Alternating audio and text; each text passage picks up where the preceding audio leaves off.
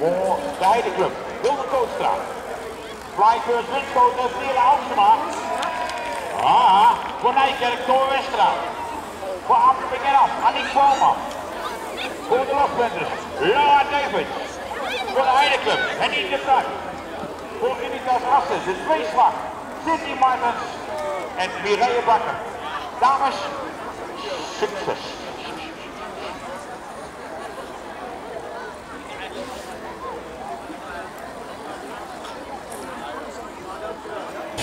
Nou, wat je geeft, wat je laat. Gaan die dames terughalen. Als de dames die daar de eerste en tweede plaats hebben gegrossierd in de, jawel, in de kwalificatie moto's.